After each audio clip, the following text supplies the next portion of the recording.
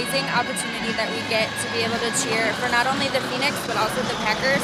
So a little bit about our Green Bay cheer team. It's at our University of Wisconsin Green Bay, and uh, we're co-ed, which means that we're guys and girls. And we're also a little bit different because we get to cheer at the NFL football games.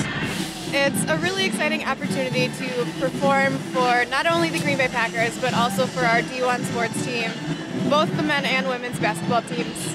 Nothing can describe the experiences that we get. Okay, the pack is back. Go, pack, go!